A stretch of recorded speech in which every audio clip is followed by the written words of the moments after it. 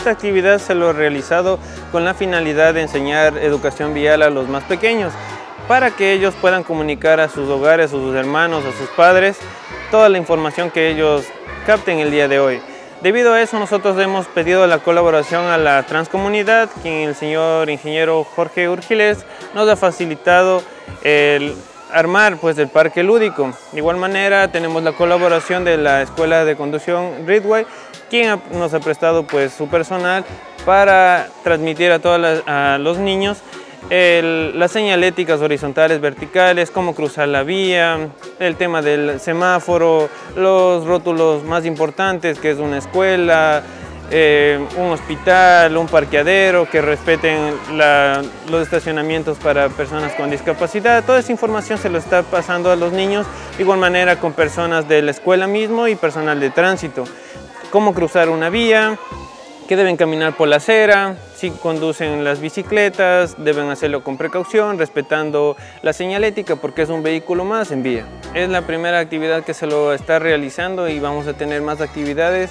Empezamos con los más pequeños y seguiremos continuando con las unidades educativas de iniciales, eh, de 5 a 7 años, después iremos con los colegios ya a capacitar netamente, hacer pruebas para que ellos sepan cuánto deben eh, manejar con estado de embriaguez, eh, hacer las pruebas para que ellos sepan que no deben consumir bebidas alcohólicas al momento de conducir. Estas pruebas se las va a realizar ya pero con colegios más o menos.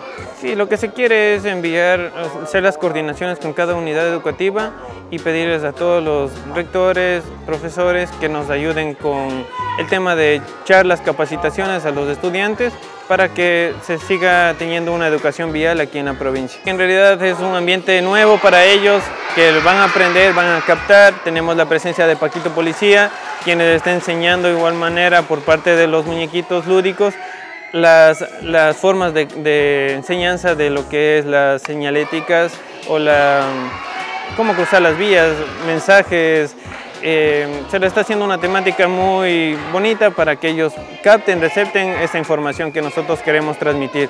Es algo nuevo que se nos, nos hemos propuesto y en realidad lo vemos con buenos ojos para toda la ciudadanía de Pastaza, para que puedan concientizar y respeten y reducir lo que es más importante, los siniestros viales, tanto morbilidad, accidentabilidad y mortalidad aquí en la provincia.